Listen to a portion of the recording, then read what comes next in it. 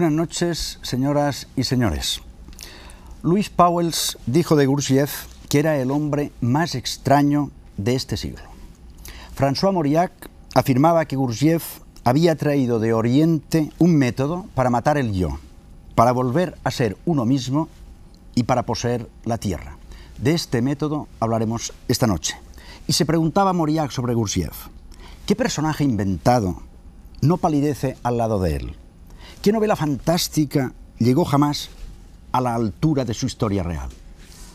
Alfredo de los Cobos es profesor de la Sorbona, lleva treinta y tantos años estudiando la historia de Gurdjieff, el hombre Gurdjieff. ¿Está usted de acuerdo con Mauriac en que era un hombre realmente extraordinario y complejo?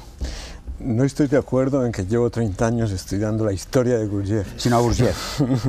sino el trabajo el trabajo que Gurdjieff puso en marcha y creo que es mucho más interesante hablar de ese trabajo que hablar del, hombre del que yo creo que ya se ha hablado demasiado y en aspectos muy anecdóticos, unos con la intención de mitificarlo, de convertirlo en una especie de sabio sobrehumano y otros lo contrario buscando precisamente los aspectos que él provocaba, que él eh, prefabricaba un poco, ¿verdad? Con el intento de provocar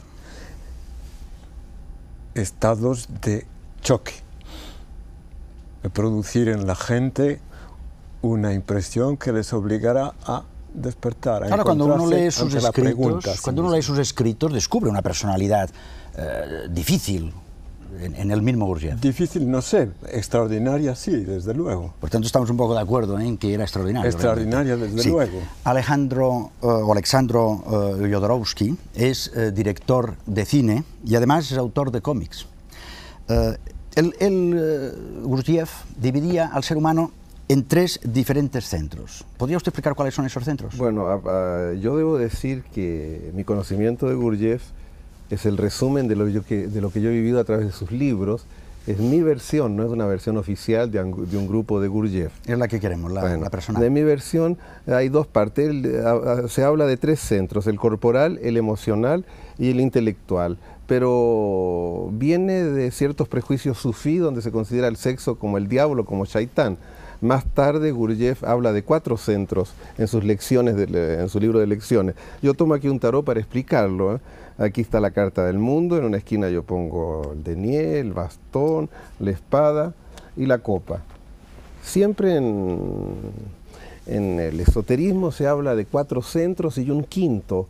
En las puertas de la catedral están los cuatro evangelistas y el Cristo en el medio. En la mano tenemos cuatro dedos, el corporal, nosotros nos apoyamos con sus necesidades. Necesidades, respirar son vitales. Si no satisfacemos las necesidades son mortales. El sexual, con sus deseos, estos deseos podemos satisfacerlos o no, podemos sublimarlos. Luego tenemos el corazón, las emociones y luego tenemos el intelecto. Cada uno de estos cuatro centros habla a una velocidad distinta, un lenguaje distinto. Uno puede pensar una cosa, amar otra, desear otra y hacer otra como un, carro tirado por cuatro caballos que van en cuatro diferentes direcciones. Falta el cochero. Esto es lo que, en lo que yo conocí de Gurdjieff, llamaba la telefonista. La telefonista se comunica con cada uno de esos cuatro lenguajes y hace una acción única, una acción unida. El carro va en una sola dirección. Esos son los centros que a mí más me han marcado en lo que habla Gurdjieff. ¿Por qué? Porque he conocido tanta gente que vive en un centro, por ejemplo el centro eh, intelectual, desdeña el corporal, o vive en el corporal y desdeña el emocional, o quita completamente de lado el sexual por otros problemas. Entonces, eh, esta técnica conduce al ser humano a vivirse en, todos los puntos de manera distinta, no es uno. ¿Y lo puede explicar con las, con las cartas? Ahora la imagen eh, Aquí, por ejemplo, el, eh, el denier es el cuerpo, el cuerpo no tiene aureola, aquí el cuerpo sostiene todo esto, como esta mesa no sostiene, es horizontal, la única carta horizontal. Sobre esto edificamos el sexo, que es el deseo, que puede ser, que puede ser sin límites. El deseo puede ser sin límites. Hay que conducirlo, hay que canalizarlo, hay, que concentrarlo. Los deseos pueden ser también inútiles. En, el cuerpo podemos tener... la tierra entera está afectada por los deseos inútiles. Tenemos que llegar a los deseos precisos. En, el sexo tenemos que llegar a concentrarlo para que él pueda actuar para limitarlo, porque si no, es incesante. Luego tenemos el, eh, corazón, las emociones. Hay emociones que son autodestructivas, que llegan al suicidio, y hay, emociones que conducen a la euforia de vivir y al sentimiento de la eternidad universal. Y tenemos luego el intelecto, que tiene que ser claro y preciso. Feliz Gracia, que es escritor, y lo que más nos interesa esta noche, aparte de estas introducciones, es ya directamente el cuarto camino. ¿Lo podrías definir de alguna manera? Lo que Gurdjieff llamaba el cuarto camino. Es, eh, es un concepto acuñado por él inicialmente, al menos que se sepa, y con ese concepto pretende definir una, y define una, lo podríamos llamar una técnica o una alternativa para el trabajo personal y como consecuencia del trabajo personal, pues para el crecimiento espiritual. Gurdjieff eh, fue una persona que nació en tierras caucasianas, entre Oriente y Occidente, en tierras eh, que se pueden considerar como un puente entre dos culturas, dos, dos, formas de comprender el mundo completamente distintas. Y su enseñanza yo la he encontrado siempre eh, parecida a esa tierra en la que él nació, en el sentido de que Gurdjieff es un hombre que hace confluir las cuestiones de Oriente con las de Occidente. Él bebió mucho las fuentes de Oriente, por supuesto, pero supo darles también eh, ese, ese, aspecto occidental y hacer posible que muchas cosas orientales tuviesen aplicación para el hombre de Occidente. El cuarto camino es, una, es, una, es un trabajo, es una conclusión suya, en definitiva, que es la expresión de esa capacidad de síntesis que él tenía entre Oriente y Occidente. Él agrupaba a las, personas, atendiendo a, sus, eh, a, diferentes patrones de conducta, agrupaba a la gente que se dedica al trabajo eh, personal en busca de parcelas de conciencia más, eh, más, elevadas o niveles de conciencia más, más amplios, los agrupaba en diferentes niveles o en diferentes categorías. En una categoría, en un nivel, estaban aquellas personas que trabajaban sobre su cuerpo inicialmente, tomaban el cuerpo como laboratorio, como, como banco de pruebas y sometían al, o someten al cuerpo a privaciones, a disciplinas durísimas. Y ese es eh, un camino es el primero de los caminos. es el camino... Ya hablaremos, vamos al cuarto. Eh, ese es el primero, bueno, ese es el del fakir. Sí, sí, pero el cuarto. El cuarto es la síntesis de los tres, es eh, la síntesis del, del camino del fakir, del monje y del yogi. Es decir, es la posibilidad de encontrar eh, la síntesis de los tres, la forma de hacer, eh, de conseguir trabajar, hacer trabajar los tres centros de conciencia que tiene el ser humano, como explicaba Alejandro hace, hace un momento, ya que cada uno de los tres eh, caminos prototípicos solamente permiten el trabajo de uno de los centros, mientras que el cuarto camino permite el trabajo de los cuatro. El escenario del cuarto camino es la vida ordinaria, la vida común, la vida de cada uno. No hay que convertirse en monje, ni en fakir, ni en yogi, simplemente seguir siendo lo que uno es. Eso sí, con otro nivel de conciencia, con otros ojos en la cara o con otra forma de ver. Te decía que no hablásemos del primero, segundo y tercero, porque de esto vamos a hablar ahora. Muy bien. Los caminos que conducen a la inmortalidad son largos, difíciles y penosos. Sin embargo, dice Gurdjieff, los caminos o métodos son los únicos capaces de asegurar el desarrollo de las posibilidades ocultas del hombre. Son estrictos y estrechos, pero nada se puede alcanzar sin ellos. Gurdjieff los divide en tres categorías, el camino del fakir, el camino del monje y el camino del yogi. El camino del fakir es el de la lucha con el cuerpo físico. Se esfuerza en desarrollar la voluntad física, el dominio sobre el cuerpo. El camino del fakir es el del sufrimiento basado en ejercicios terriblemente penosos. Con ellos consigue acrecentar la voluntad física, aunque no las emocionales e intelectuales. No existen escuelas de faquires en el camino de estos hombres. No hay un maestro en el verdadero sentido de la palabra, es decir, el maestro no enseña, sirve solo de ejemplo. El alumno se limita a imitar al maestro. El camino del monje se centra en los sacrificios y en los sentimientos religiosos. También este camino es largo y duro, a menudo puede pasar muchos años en dura lucha consigo mismo, con el fin de imponer la voluntad sobre las emociones. Sin embargo, en muchos casos, según Gurdjieff, su cuerpo físico y sus capacidades intelectuales pueden quedar sin desarrollar si no las ejercita. El camino del yogi es el del conocimiento. Para ser capaz de lograrlo, será necesario que ejercite el dominio de su cuerpo, de sus emociones y de su mente. Tanto el fakir como el monje o el yogi con frecuencia son incapaces de lograr un triunfo total sobre todas las dificultades ya que a menudo se detienen al llegar a un cierto grado de desarrollo. Además de estos tres caminos que pueden ser difíciles para la mayoría, señala Gurdjieff un cuarto camino. La diferencia fundamental entre los tres caminos mencionados y el cuarto estriba en que los tres primeros están unidos a formas permanentes que han subsistido, apenas sin cambiar, en el curso de la historia. En cambio, el cuarto camino difiere de los anteriores en que no tiene forma determinada y no está sujeto a ninguna institución. El cuarto camino es la síntesis de los tres anteriores. Adentrarse en él es convertirse en el fakir, el monje y el yogi a la vez.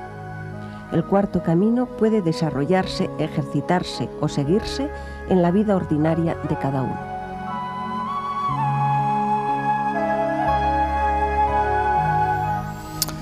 Ángel Moreno es capellán del monasterio cisterciense de Buenafuente. ¿Usted cree que eh, la vida del monje tiene algún sentido todavía en la, en la vida de hoy? Yo pienso que es un camino eterno, como su propio origen. Es el hombre gratuito por el absoluto. Es el hombre que se enamora del que no pasa. Es el hombre del ser esencial que vive en la unidad mayor.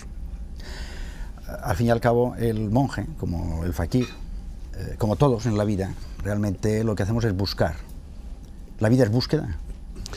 La vida es búsqueda porque nadie ha visto a Dios. Y por tanto, el monje intenta rastrear de la forma que le es posible al hombre por allá donde está el rasgo, la huella, el destello.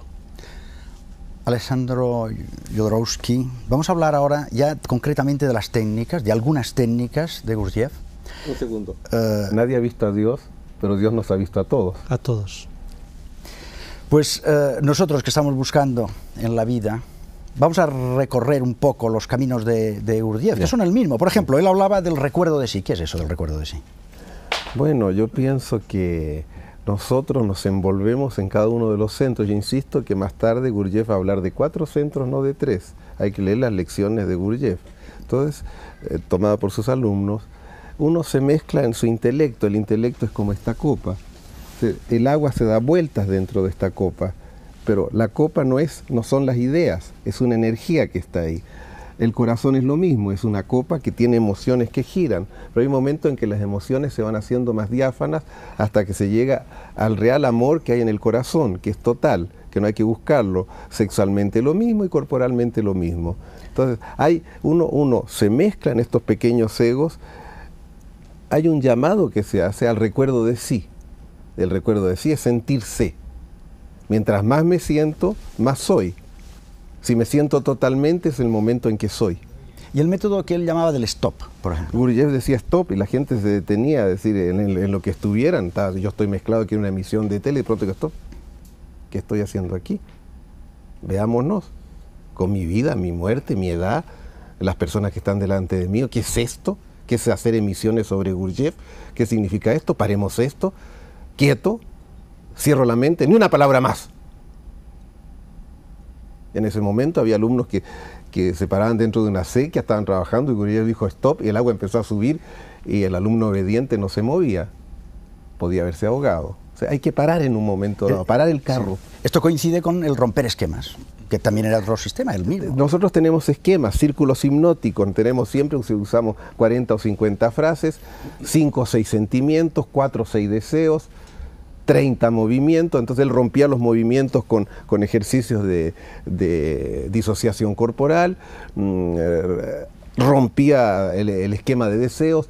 A Luc Dietrich, poeta que surrealista del gran juego, le dijo, todos los días vas a conquistar una mujer distinta, te vas a acostar con una mujer distinta. Y a Domar le dijo, te vas a acostar con una mujer una vez al año, rompiendo sus esquemas.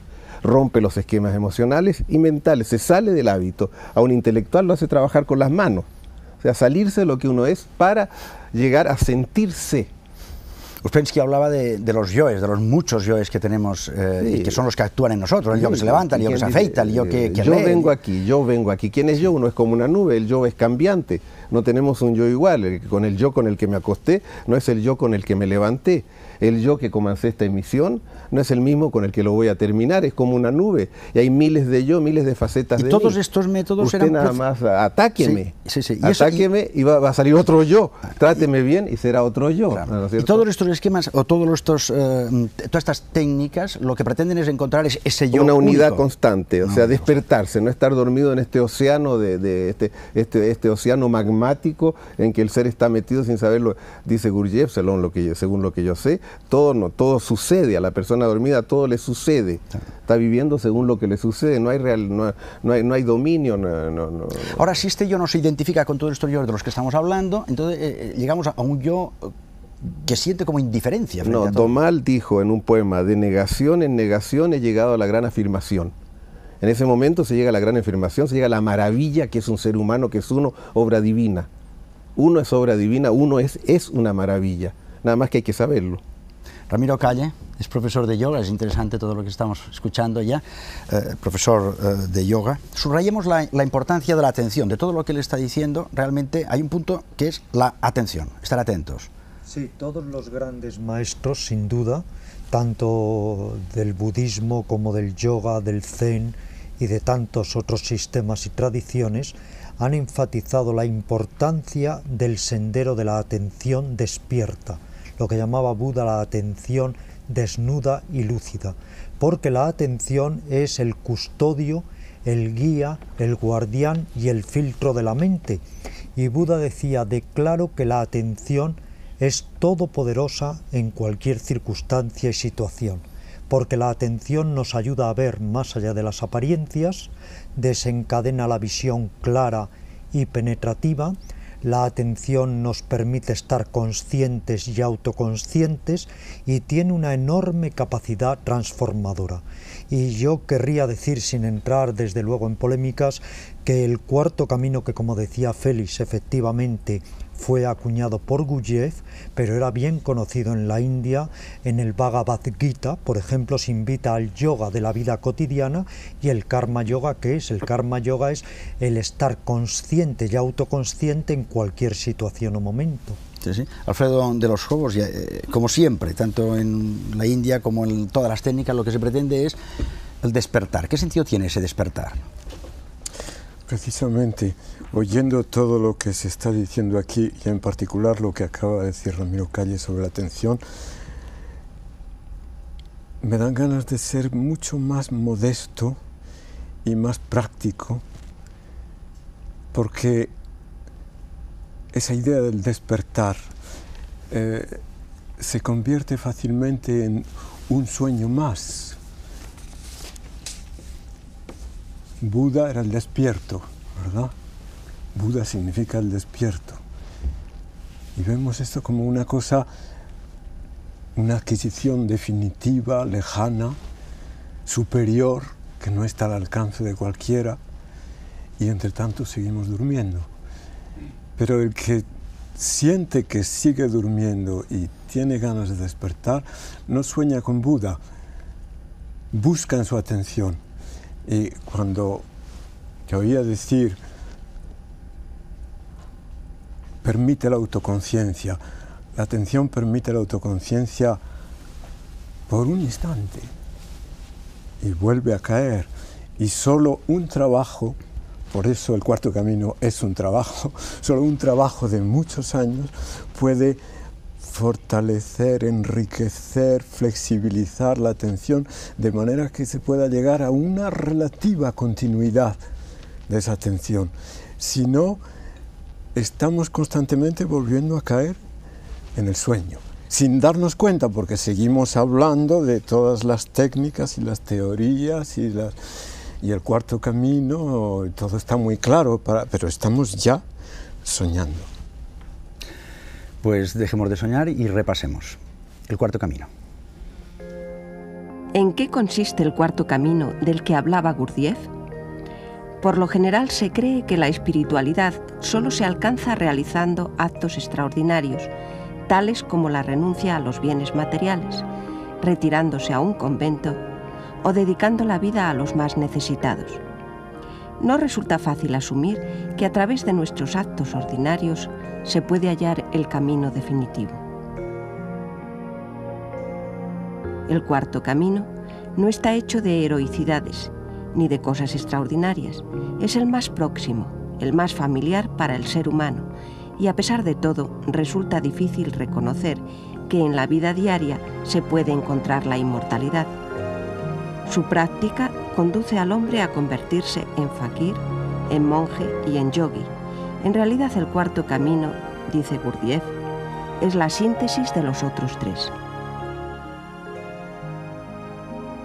Cuando alguien percibe en medio de su rutina diaria que hay algo que le atrae hacia un estado de superación personal, inicia para alcanzarlo no un camino, sino varios, y ninguno fácil.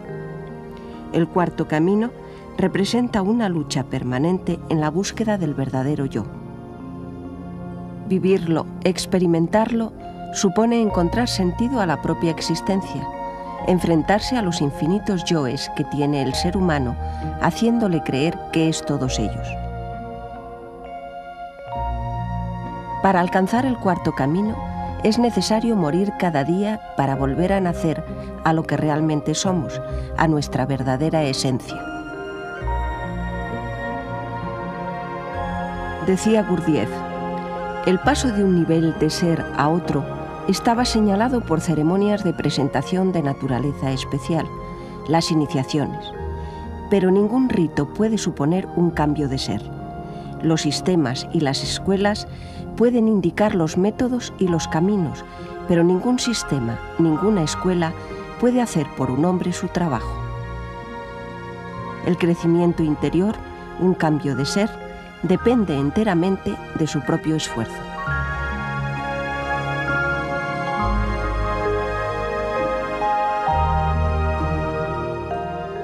Ramiro Calle, decíamos nosotros antes eh, que estas técnicas las había traído Gurdjieff desde de, Oriente. ¿En qué realmente eh, se parecen a las de Oriente y en qué las cambió? Bueno, él eh, de alguna forma las adaptó en su época al hombre occidental y él fue un poco como el pasaje, el ojo de buey de las técnicas y sabidurías y caminos tradicionales de Oriente pasándolos a Occidente. Pero sabemos que la India es la patria no solo del yoga, sino de la más refinada mística y que todos los grandes cerebros, o muchos de los grandes cerebros, han viajado a la India a buscar en su sabiduría y en su legado cultural y místico. El mismo Uspensky viajó a la India y Germán Hess y Jung y Frillo Capra, Timothy Leary, eh, en fin, legión verdaderamente de cerebros, ¿no? Y lo que tratamos de alguna manera es de poner al día o adaptar, entre comillas, todos estos conocimientos tradicionales para el hombre de hoy. Pero yo querría significar que ese conocimiento, como dice Hasley, es perenne y que lo que podemos variar es el método de enseñanza o la interpretación, pero la esencia nuclear siempre es la misma. Ángel Moreno, por ejemplo, en Occidente, pues de alguna forma se reúnen todas esas técnicas en lo que se ha venido llamando estética, por ejemplo, y mística. Sí, lo que ocurre es que según la traducción de estas dos palabras se puede dar una estética voluntarista o una estética derivada de un encuentro. Y yo entiendo que la estética y la mística, si se deriva de un encuentro, de un encuentro con un tú, que me interpela, que me fascina, y en el caso cristiano es el encuentro con, con Cristo, yo tomo toda la técnica o toda la escuela o todas las tesis por esa relación y para esa relación y no la experimento como algo negativo, sino como una expresión amorosa. La estética eh, quitada de la mística me hace, como dice Teresa de Jesús, un hombre de puños, un hombre de esfuerzo, un hombre triste, titánico. Y con la mística me hace un hombre esforzado y amado. Eh, contemplación para sacar amor. Alessandro Dorowski, antes estaba dibujando ¿eh? Eh, iniciaba el eneagrama de, de Gurdjieff. ¿Podrías acabar de explicarnos de qué consiste? Como dice mi amigo profesor, a propósito de que las ilusiones eh, cortan el camino de la verdad. El budismo zen eh, ya lo dijo, dice, si encuentras un Buda en el camino, córtale la cabeza. lo cual eh, quiere decir eso, ¿no? Esto, siempre las místicas han tenido como diagramas para... ¿Quiere, quiere acercarse allí y dibujarlo? El, el enneagrama que, usó Gurdjieff, yo, yo insisto, es en su época, en su primera época, cuando habían tres centros. Se, se toma un círculo, bueno, se fija el punto central, se hacen tres segmentos y se hace un triángulo. Yo lo hice mal, me, y luego una vez que está hecho el triángulo, se, se, hacen, cada segmento se divide en dos y luego se trazan unas líneas que son rítmicas, ¿no? Se une así, luego se une así, y luego este va al más grande, aquí, te va para acá, te va para acá, y este, yo creo que me equivoqué. Bueno, espérate. Más o menos. la idea más o menos. Puede acercarse a la mesa. Más o menos. Puede acercarse a la mesa. tengo que poner aquí para la ah, Entonces, hay un círculo, hay un triángulo y hay seis líneas que hacen un ritmo. El enneagrama tiene nueve, puntos y un décimo en el centro. En la cabala judía hay, los diez, los, los, diez sefirot, que es casi, ¿no es cierto? Divididos en tres columnas. ¿no? es una explicación del mundo, una filosofía. Esta es otra filosofía. Se la puede interpretar como. Que hay que hacer un recorrido desde Malkut sí, abajo se la puede, interpretar, se la puede interpretar como uno quiera, ¿no es cierto? Sí. Como uno quiera. Bueno, y se puede poder hacer los recorridos que uno quiera. Hay 22 caminos para seguirlo. Pero esa es la cabal. Pero todos estos son como diagramas que cada persona debe valorar. Yo podría valorar esto diciendo este es el centro corporal, infinito, el mundo, el mundo. El, aquí está el triángulo que sería la luz, la luz del intelecto, y este ritmo cardíaco que hay aquí sería el terreno emocional y tendríamos aquí los tres centros alrededor de un punto total de atención. Atención, atención, atención. La persona va a estudiar con un samurái y le dice, ¿qué se necesita para aprender la espada? Le dice, atención. Solo eso. Atención, atención. Nada más. Atención, atención, atención. Entonces eso yo podría explicarlo así rápidamente, pero cada persona puede sacar libros sobre estos símbolos, ¿no es cierto? Sí. Son útiles como el tarot, no son una verdad, son sistemas donde nosotros podemos colocar nuestra visión e irla exaltando cada vez más. Alfredo de los Cobos, habría, que, habría que añadir al enneagrama los números. Porque se trata de 1, 4, 2, 8, 5, 7, es decir, eh, la fracción periódica pura resultante de la división de 1 por 7. Ya estamos en plena abstracción, no nos sirve para nada en el trabajo íntimo, pero significa algo. Pero vamos, vamos a hablar ahora... algo muy importante. Muy importante. Son resúmenes que sirven a uno, son como ayudas memorias, son como máquinas. Máquinas. Máquinas metafísicas y todo para llegar al saber, a la sabiduría. Mm, al, ser, más bien que el Bueno, pero vamos a pasar primero por eh, la diferencia que me gustaría que Alfredo Los Cobos nos hiciese entre saber y comprender. Comprender. Gurdjieff decía no hacer nada sin comprender.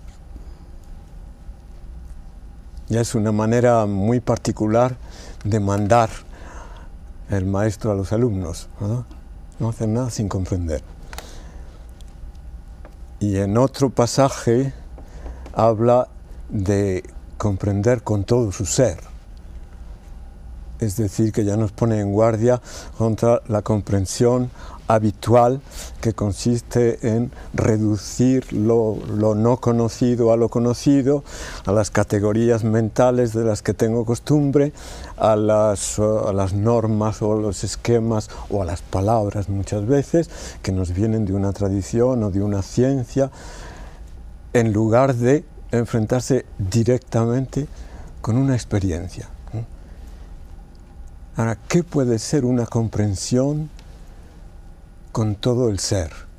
Indudablemente está en relación con lo que se decía hace un momento de los centros y aclara lo que puede significar trabajar con todos los centros a un tiempo. No es simplemente que los centros funcionen intensivamente al mismo tiempo, sino que la atención de la que hablaba Jodorowsky, la atención esté presente en todos a un tiempo. Estar en el centro intelectual, en el centro emocional, en el cuerpo incluso en el sexo, aunque habría que hablar mucho de eso porque el sexo se, infiltra en todas partes, pero con la atención.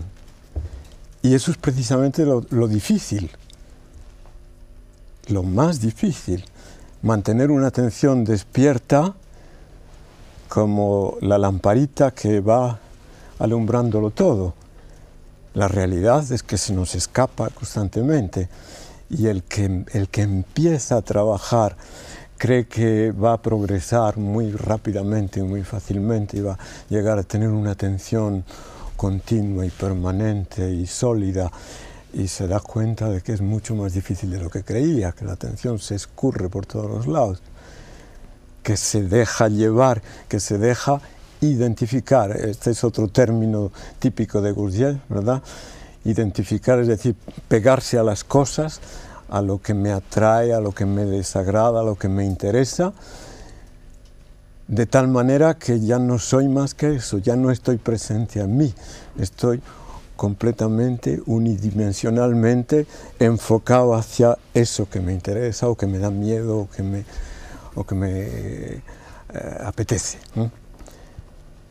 De modo que la, la, comprensión, solo como la atención, como decíamos antes, la atención dura lo que pueda durar una atención de cierta calidad. Y hay momentos de comprensión evidente y después se vuelve otra vez a, caer en la, en la penumbra.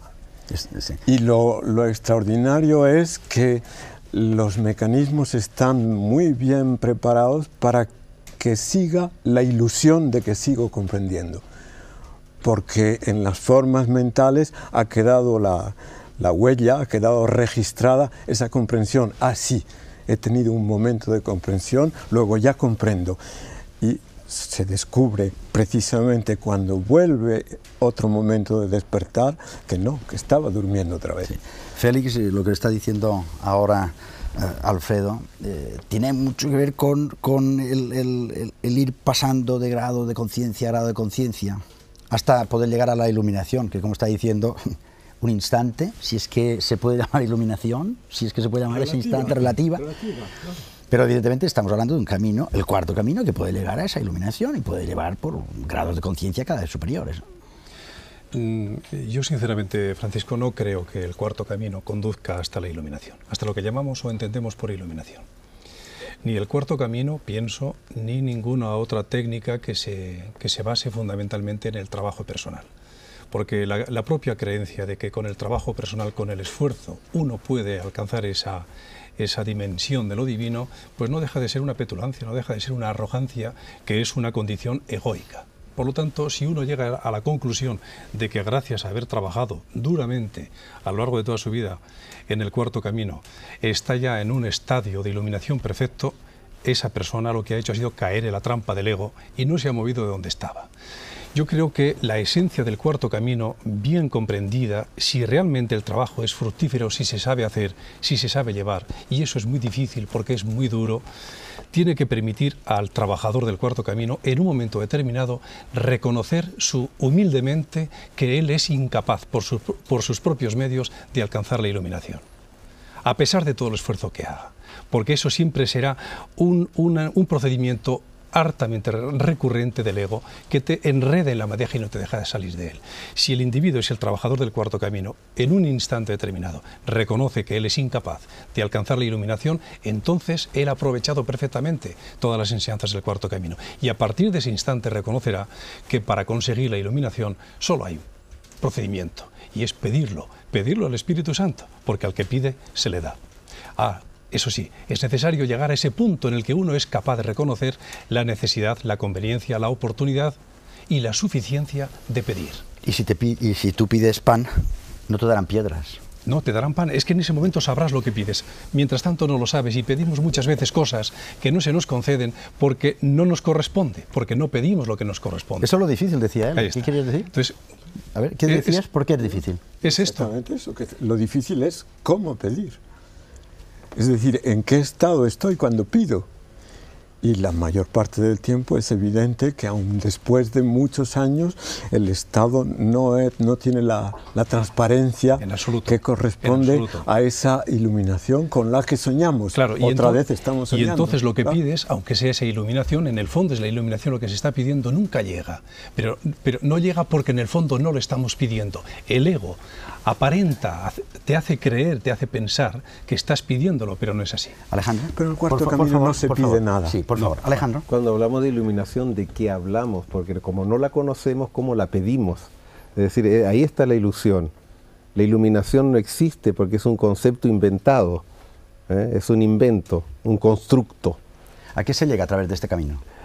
Cuando uno deja de lado el constructo, es decir, el término ese que uno inventa, uno está iluminado porque la esencia del ser es la iluminación. ¿Sabe? Estamos todos iluminados. No podemos decir que no seamos la casa de Dios. Somos todos divinos. Entonces no hay que hacer nada en un momento dado. Hay que el ego debe aprender a no hacer nada, vaciarse. ¿Ah? Estamos todos iluminados, pero no lo sabemos. Ah, pero no lo sabemos. Entonces hay que aceptarlo, tranquilo, dejar de lado, pero tampoco es abandonar la búsqueda. No abandonamos la búsqueda. Gurdjieff, eh, además, era compositor, compuso música, interpreta Alan Kremsky.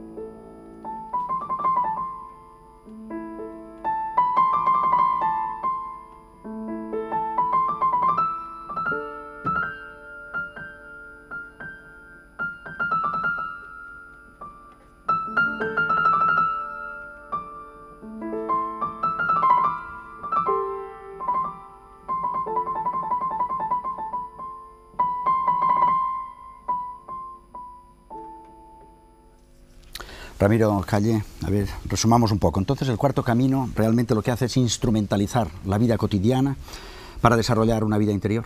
Por supuesto, yo diría un poco parafraseando a Lorca después de lo que he oído, que no vamos a llegar, pero vamos a ir. Vamos a poner los medios para aproximarnos a la meta. ¿no? Eh, como dice el psiquiatra Charles Starr, todos vivimos un trance consensuado. Claro que es dificilísimo despertar y por eso tenemos que ser muy humildes y lo único que podemos hacer es poner las condiciones para que la gran invitada que es la sabiduría, si quiere, llame a nuestra puerta.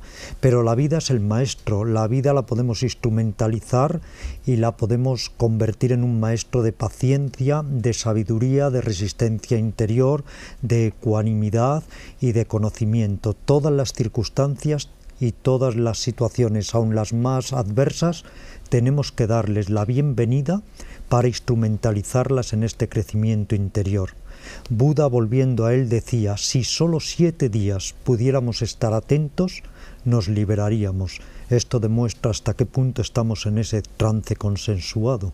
Pero evidentemente hay que estar, hay que estar atentos. Es el vigilar, estar eh, vigilantes, porque puede llegar el momento y te puede encontrar dormido. Por supuesto, lo que dicen los maestros indios, que hay que tratar de mantener la actitud contemplativa aún en la acción, o sea, una actitud meditativa, descubrir la profundidad de una caricia, el aroma de una flor, el comunicarnos plenamente con una persona, poniéndonos a la escucha de esa persona, de alguna forma entrenar la atención, porque la atención es como una gema que nos dan en bruto y que nosotros podemos pulir y abrillantar, pero desde luego hay que estar en el intento. Ya decía Ospensky que la búsqueda, este rastrear por lo menos, es lo que da el gran significado a la existencia.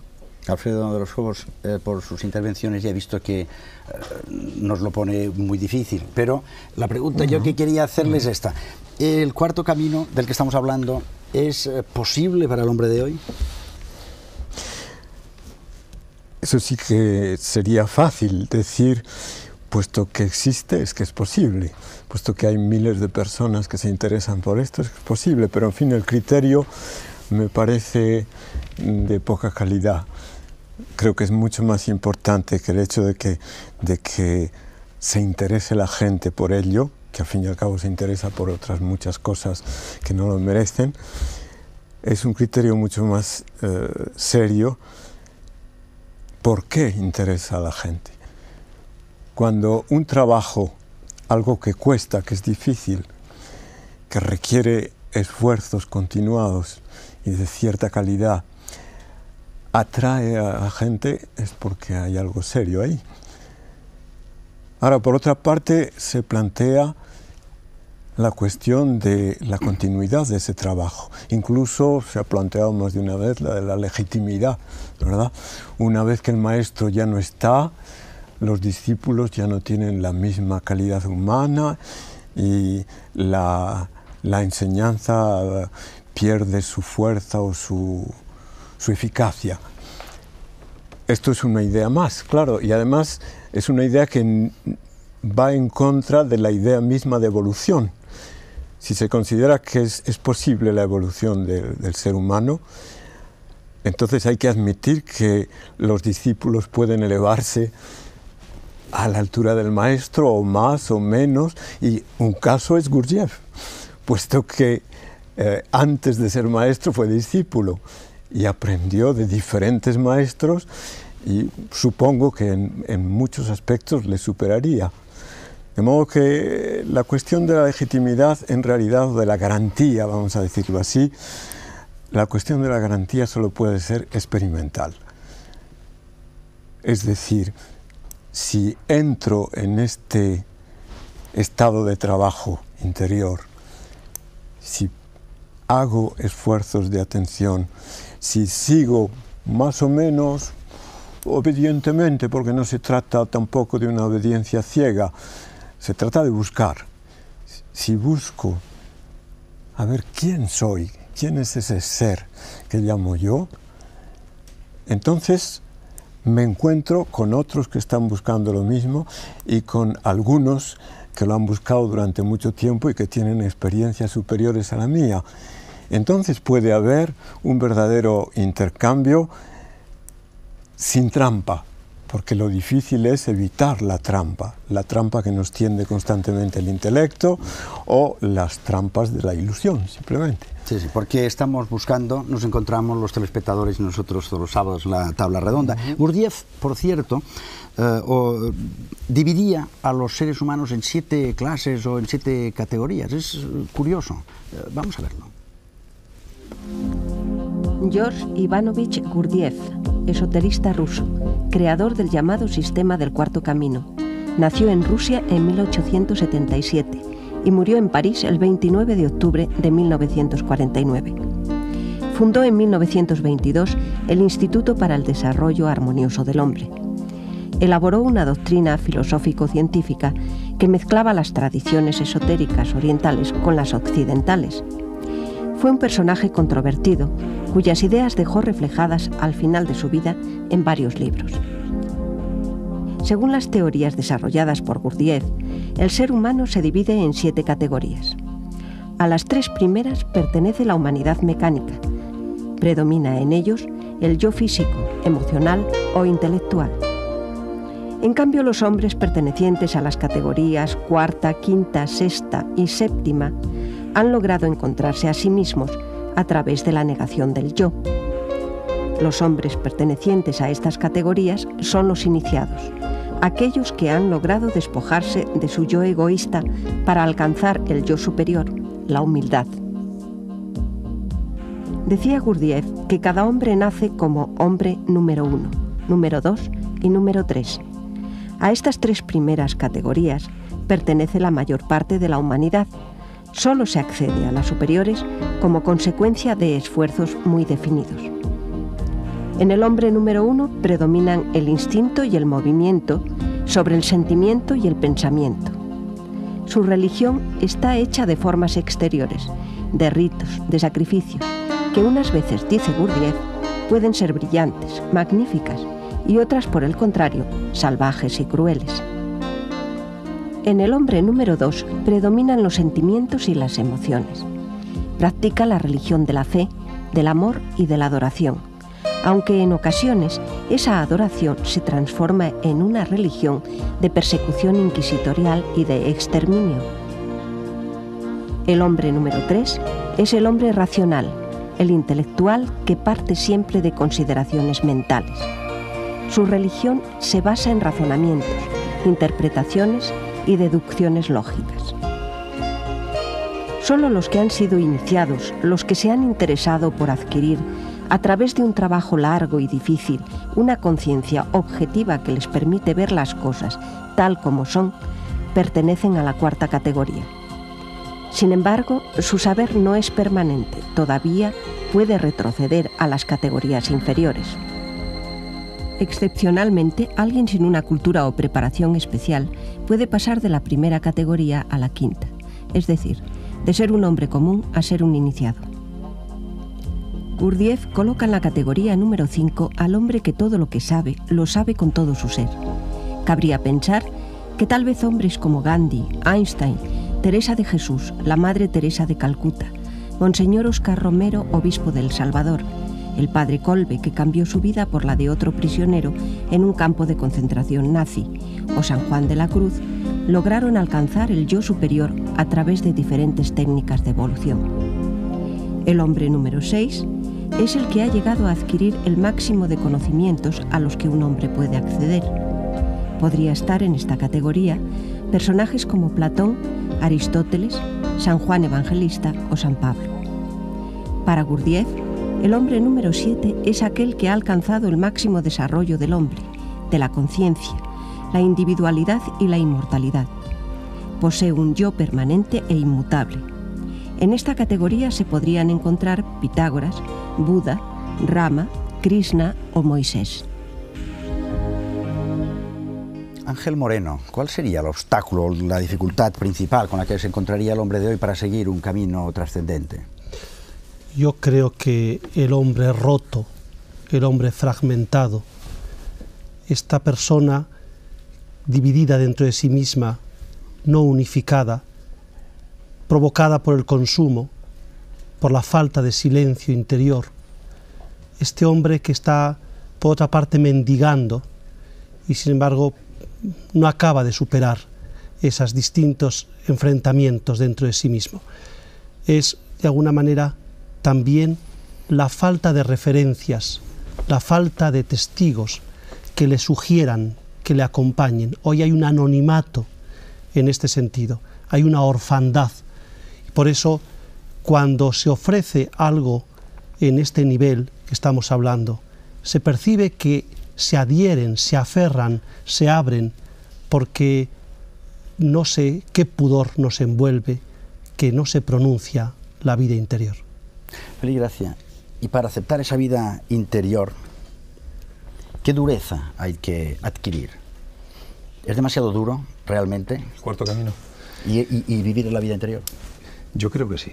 El cuarto camino es especialmente un camino duro por lo complejo que es y porque además no te permite escapar. Es decir, si estás en, no, no tienes excusas porque en cualquier caso estás inmerso en la vida ordinaria y por lo tanto la única excusa es el decir no lo acepto pero fuera de esa no hay, no hay otra. Y es realmente duro, es realmente difícil aceptar aquello. Decíamos al principio que el cuarto camino, el escenario del cuarto camino es la vida ordinaria, la vida de cada uno. Y si es así, tiene que ser porque existe una relación entre el entorno, la vida de cada uno y uno mismo. Y eso es cierto, existe esa relación. No hay diferencia entre el mundo de fuera y el mundo de dentro. El mundo exterior es el reflejo, es la proyección del mundo interno, pero la dificultad está en que nosotros no somos capaces de reconocer aquello. Sabes que Jung establecía una clara diferencia entre lo que era la parte consciente conocida de nosotros mismos y la parte inconsciente, que es la que eh, aglutina la mayor parte de nuestras cualidades. Y ese inconsciente, todas las cosas que están incluidas, todas las eh, aptitudes, todas las eh, cualidades nuestras que están en el inconsciente, se comportan según el mismo como una especie de imán que atrae del exterior algo parecido o idéntico a ellas mismas. De manera que el que siendo violento lo reprime, porque no está bien visto ser violento en, nuestra sociedad, entonces se encuentra con que en su vida aparecen situaciones de violencia o personajes violentos. La dificultad estriba en reconocer uno que ese personaje violento es una proyección, o no el personaje, sino la circunstancia que crea, que es una proyección de sí mismo, es decir, que los demás son pantallas donde nos podemos ver. Y reconocer esto realmente es muy duro y muy difícil. Y puede haber, entre otras dificultades, una oposición, eh, una persona dentro de la familia se encuentra con que todo el mundo se opone, a, por ejemplo, a ese camino que uno debe llevar, el cuarto camino, por ejemplo. Lo que ocurre muchas veces, y esto tú lo has visto, en, porque has estado como yo en, congresos y en seminarios y demás, y has visto que se, se da un hecho muy común, y es que eh, entre las parejas, generalmente es la mujer la que, la que está más eh, preparada o acepta eh, el trabajo espiritual y el marido el que no la acompaña y, muchas veces se convierte en un obstáculo para ella y luego se acercan y preguntan qué, se puede hacer en una situación como esta. Esto es un hecho real. Es decir, eh, no siempre cuando uno comparte la vida con una pareja, no siempre tiene la, la fortuna de que la pareja le acompañe también en, ese, en esa preocupación. Lo que pasa que eh, tampoco hay, creo, respuestas definitivas ante qué es lo que se puede hacer en una situación como esa, porque habría que distinguir... Convertir el obstáculo en camino. Exactamente, habría que saber si aquello es un obstáculo simplemente o es un impedimento. Sí. Ramiro eh, Calle, decía Félix antes que algo que creo que sí que convendría puntualizar, y es que a veces esta, este camino eh, sirve para apuntalar el ego y, y no descubrir realmente lo que hay que descubrir detrás de todo esto. Y se queda uno muy ensimismado en, el sí mismo. Efectivamente, siempre he estado de acuerdo con Félix Gracia en que el peor materialismo es el materialismo espiritual. Ese juego narcisista, yo soy el bueno, tú eres el malo, yo soy el consciente, tú eres el inconsciente, yo hago un trabajo interior, tú no lo haces. De esa manera lo que hacemos es apuntalar el ego en lugar de desbaratar toda su burocracia había un gran místico cristiano que después de toda una vida de trabajo interior le dijo a su discípulo, porque soy débil, comprendo tu debilidad. Creo que todos somos extraordinariamente débiles, que hay que menguar para crecer y que lo que realmente tenemos que hacer es rendir el ego si queremos llegar a alguna parte. Feliz gracia, el caso es que la vida hay que vivirla de todas formas. Y ya se puede vivir o como el cuarto camino o vivirla sin el cuarto camino, pero al final la tienes que vivir. Eso es cierto, eso es cierto, no hay otra alternativa. Por lo tanto, digamos que esa es la, la, opción, eh, la única opción, la única alternativa, que es vivir la vida. Parecería una tontería entonces desaprovechar el tiempo. Pero vivir la vida de forma iniciática. Exactamente, desde otro punto de vista. Pues ya lo ven ustedes, es otro punto de vista. Es tan simple y tan complicado como la vida misma. Buenas noches y hasta la próxima semana en la tabla redonda.